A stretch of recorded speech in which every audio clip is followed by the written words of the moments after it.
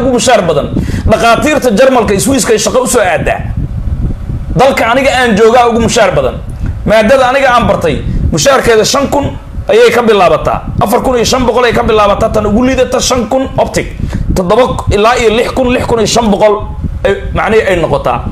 Qofka aniga hadda haddaan jarmal shaqo ka raadsado afar kun iyo shan boqol ma laygu qaadanayo anoo shaqadaydii lacagteedu ay ka bilaabato afar kun iyo shan boqol shan kun lix kun ilaa lix kun iyo shan boqol meeshaan aan joogo. Bishii waxaa laygu qaadanayaa hadday u badato laba kun laba kun iyo shan boqol aa laygu qaadanaa. Waayo qofka caadiga wuxuu ku shaqeeyaa kun iyo sideed boqol kun maxay? Kun iyo saddex boqol kun iyo shan boqol kun iyo lix boqol dadka caadigaa ku shaqeeya. Marka sweden dad ka shaqeey oo ka yimaado meeshan shaqo u raadsadaan aqaanaa. War maxay tahay mushaarkiina bishii? Dadka dhulka xaaqa dadka meelaha ah hadday dhahaan laba kun ka badan ma qaataan. Oo bishii dhabar ka go'aaya sweden. Mise beenaan sheegaa qofkii meesha wax ku bartayna ah hadduu yidha laba kun iyo shan boqol kama badna. Kategorigayna ku xidhanta had walba shaqada. Marka qofka soomaaliga ah sweden jooga afar kun iyo shan boqol ey hotel kira kaga dhiibaya bishii. Balaas lagu daray cunadiisii ilaaladiisii macnihii dhiibaaye walaalayaalow maankiina ma galay iiga jawaaba waay waxaa la yidhi eyga labaatan kun oo dollar u sistay ninkaan soomaaliga sweden jooga. War ninkan iyuu u shaqeeyaa maa la ituso aniga. Ninkan maa la ituso waaba nin naga naga fiican be. Ninka ey labaatan kun oo dollar siistay soomaali ah oo labaatan kun oo dollar ey ku gadan kara dabcan baabuurkiisana waa inuu boqol kun yahay ninkaasi eygiis hadduu labaatan kun yahay baabuurkiisana waa inuu laba boqol ama shan boqol oo kun oo dollar u yahay faraari u yahay. Waa yahay ma tiimka xasan sheekh maxamuud ba? Ma ma burcadbadeed ba? Swedenta soo ma ahayn kuwii tikitka ayuutada u galaayay. Shan bilood hadda kadib markuu rabo ethoobia ama inuu u dhoofo kenya macnihii reer sweden soo kuwii ayuuta u geli jiray tikitka ururintiisi. Soomaalideenna. Ma beenaan isu sheegaynaa mise dalka ma naqaan annaga? Wejiyadeena dhaadhaanaa ku dhigan miya macnihi ma bahdalaayo? Dad shaqaystaa jira. Laakiin standardka dalka waa naqaanaa waana tegay aniga. Ma iiga sheekaynaysaan? Standard dadka shaqeeya iyo dadka aan shaqayn dadka aan shaqaynaa badan. Inkastoo dunida inta shaqaysa iyo inta aan shaqaynin ee wax cunta inta aan shaqayn ay badan tahay adduunyada markaa fiirisid toddobada bilyan. Inta shaqaysa iyo inta aanan shaqaynin inta shaqaysa ayaa yar. Marka lagu leeyahy wallahu yarzuqu maa yashaau biqayri xisaab waa sidaas macnihii shaqo ma taallaa mise ma taalamaan adduunka oo dhanba. Inta shaqaysa iyo inta aanan shaqaynin inta aan shaqaynaa badan adduunyada. Inta shaqaysaa yar. Waayeeladaan oo dhan ma shaqeeyaan waxbay cunaan. Caruur oo dhan ma shaqayso waxbay cunaan. Dumar oo dhan badana adduunka ma shaqeeyaan waxbay cunaan. Rag badan oo fadhiyaa jira. Marka inta shaqaysa adduunyada oo dhan toddobada bilyan ee hadda inta ku nool iyo inta aanan shaqayn inta shaqaysaa yar haddana inta aan shaqayn ilaahay wuu irsaaqaya dadka ilaahay baa isku kor irsaaqa. Ilaahay baa dadka isku kor irsaaqa. Arsaaqada siiya. Marka waxaan rabaa inaan kuu sheego sweden yacni inta shaqaysa soomaalida inta aanan shaqaynin inta aan shaqaynaa badan. Qodobkaas waa isku raacnay.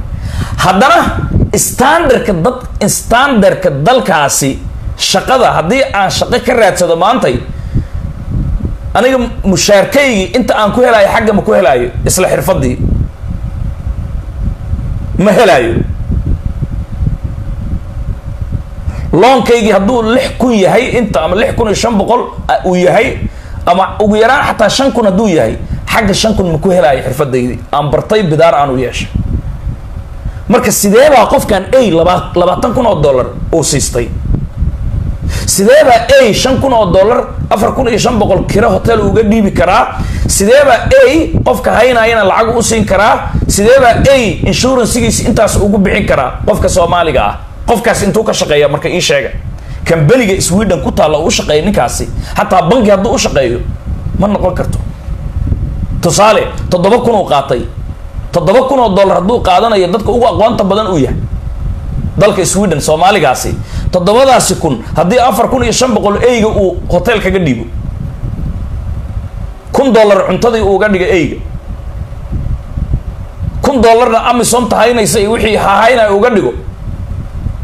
Sow lix kun iyo shan boqol maaha isaga muxuu ku noolaanayaa muxuu caymis isaga dhiibayaa muxuu kira isaga dhiibayaa ehel male miya? Nolol ma rabo miya? Caafimaad ma dhiibaayo miya? Nimayo hadde waxaan u malaynayaa caqliyadeena lagu dheeldheelaya marka. Caqli ku dheel waay. Ma kuli ey ma arkaysa macnihii dad gadanaya ma jiraan. Soomaali haystaa way jiraan. Laakiin sida naloo sawiray ey dawaca iyo ey iska dhaleena lagu dhahay. Dawaca iyo maxaa iska dhalay waxaas? Labaatan kun aa la siistay. Ko kismaayo aa lagu qashqashtay labo ma arkayse marka caqligaaga ma ogol yahay. Eygaasi intaasi qarash ku baxay nin soomaaliyeed baa macnihii sidaas uu ka dhoofay kismaayo la soo marsiiyey kismaayo lagu qashqashaaday xamar saasaa lagu soo dejiyey. Siyaasad baa ku jirta siyaasaddaas soo baara. Ama annaga waxaa weeye haddaan soomaali nahay ey in lagu xaragoodo dhaqankeenu ma ogol yahay. Ma isqaadanaa xarago ey in loo wato. Qaaraa waxay dhaheen eyg waa lagu ugaarsan jira yes eyg waa lagu ugaarsan karaa. Laakiin gabadhaasi ugaarsi may u keensatay yaan ku dha inay sagaaro iyo deero ku raadsato may u keensatay waa maya haddaba qaar baa shareecada islaamka ku raftay cabdiraxmaan cabdishakuur iyo tiimkaas iyagoo hawiyenimo u difaacaya wax walba idinkaa noo keenayo walaalayaal. Annaga dhaqan ma u leenahay soomaaliya in ey lagu xaragoodo? Maxay tusaaloo dhiibaysa haddii xildhibaanadu ay jid u falaan ay dhahaan eygu waa normal in ma arkaysa macnihii layska wato diyaaradaha la saarto. Wadamada islaamka qaarkood oo dad gaalaha ay ku nool yihiin eeraboradooda ey adoo la xaragoonaya ma ka soo degi karta adoo muslima su'aalaan ku weydiina sacuudiga ii sheegay qatar adoo ey xaragoonaya ma kala soo degi kartaa? Su'aalahaasi ka jawaaba haddaba masaladan waxaan u celinaynaa fasaluu ahla dikri in kuntum laa taclamuun. Shayga aydan garanaynin dadka aqoonta annaga jaahiliinana mid ka mid a culimada soomaaliyeed oo diinta ilaahay baray ayaan rabnaa bal eyga qofka muslimka ah dhaqashadiisi la noolaanshihiisi waxay diinta ka qabto haddaan nahay dad muslina bal aan dhegaysano shiikaasi dhegah raarixiya insha allah bismi illahi wasalaatu calaa rasuulillah wacalaa aalihi wasaxbihi wasalama ajmaciin. Wabacd dhammaan walaalada islaamku meel walba joogaa waxaan isku dayi doonaa insha allahu tacaala masaladan oo eeyaha in la dhaqdo carabigana lagu yaqaano iqtinaa alkilaab. Ma bannaan tahay in eeyaha la haysto guryaha lagu haysto la rabaydaysto lagu falaado sida magaranaysa dad badan oo muxuuha isticmaalan oo kale? Ay ku sameeyaan oo kale. Masaladaasaan rabaa inaan yara kala dhigdhigo dhowr axaadiisaan soo qaadaya. Awalan mowduuc waxa weyaan taxriim iqtinaa alkilaabi ila ma istahnaahu sharac waa xaaraam oo la xaaraantameeyey in eeyaha la haysto ilaa wixii sharciga uu jideeyey mooyaan uu baneeyey qofka muslimkana uma banaana asal ahaan inuu eeyaha iska haysto. Ilaa hadduu haysto dan u haysta. Waxaana ka mid a danaha eeyaha loo haysanaya. Ey ugaadh looga talagalay soo ugaarta aad u dirsanayso weli markaad dirsanaysa laftiisaba aad ku dirtid bismillaahi allahu akbar inaad tiraahdid oo asaa ku dirto. Oo ilaahay bisankiisa aad xusto oo ilaahay aad xusto saa ku dirto. Haddaadan ku dirin oo uu intuu baxo oo iska soo qabsado ma cuni kartid kaas waa xaaram asagaa samaysa. Xataa iska daaya kii aad bismillahi allahu akbar aad ku dirtay haddii intuu qabsado oo cunitaan uu ku bilaabo asaa naftiis uu qabsaday adigu kuuma qabsanin markaasi ma banaana. Iyo waxaa kale la ogol yahay eyga ilaalinaya xoolaha ku ilaalinaya waa kan labaad. Kan saddexaad waxa weeyaan kan beerta ku ilaalinaya xayawaanaadka iyo tuugada iyo kaaga ilaalinaya. Saddexdaas ayuu sharciga uu jidaynaya haddaba waxaan soo qaadan doonaa dhowr axaadiis baan soo qaadan doonaa. Imaam albukhaari numberka xadiidka uu leeyahay laba kun iyo saddex boqol iyo laba iyo labaatan abu hureyra ayaa werinaya radia allahu canhu xadiidkana waa saxiix. Nabiga sal allahu alayh wasalam waxaa ka sugan uu leeyahay man amsaka kalban fainahu yanqusu kula yowmin min camalihi qiraad ila kalbu xarthin aw maashiya maxaa loola jeeda hadalkaani? Qofkii ay qabsada ee haysta ee dhaqanaya maalin kasta waxaa ka go'aysaa camalkiisa laga jaraya qiraad culamada qaar qiraad waxay ku tilmaamaan buurta uxud baa lagu tilmaama buurta uxud madiinay ku taallaa waa halkii macrakadii ghaswat uxud ka dhacday weeyaan. Silsilada dheerayd ee buurta uxud la yidhaahdo ayaa ka go'aysa la yidhaahdaa. Ilaa waa xaalaad adaa istifnaa'iya la yidhaahda laga reebo ey la dhaqanaya ama muxuu ahaa mid xoolaha kuu ilaalinaya mooyaan yacni ey beerta ku ilaalinaya aan idhaahdo beerta ku beerta kuu ilaalinaya iyo xoolaha kuu ilaalinaya xadiid kale imaam muslim uu weriyey waxa uu leeyahay oo lambarkiisa uu yahay kun iyo shan boqol iyo toddobaatan iyo shan. Xadiidkana waxaa werinaya abu hurayra radi allahu can waxa uu leeyahay rasuulku sal allahu alay wasalam waxaa ka sugan buu yidhi man iqtanaa kalban laysa bikalbi saydin walaa maashiyatin walaa ardin fainahu yanqusu min ajrihi qiraataani kula yowm qofkii ey haysta qabsada.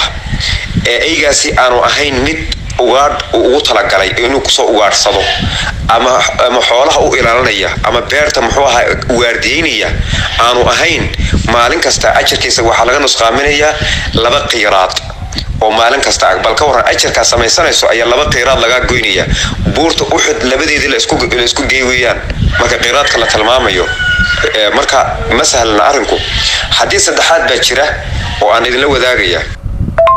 حديث كسدحات إمام مسلم باورين إياه وحنكو ورين إياه لنبركا حديث كوحا ويا نكون يشان بغولي تضباطن يا أفر ويسكو حقان.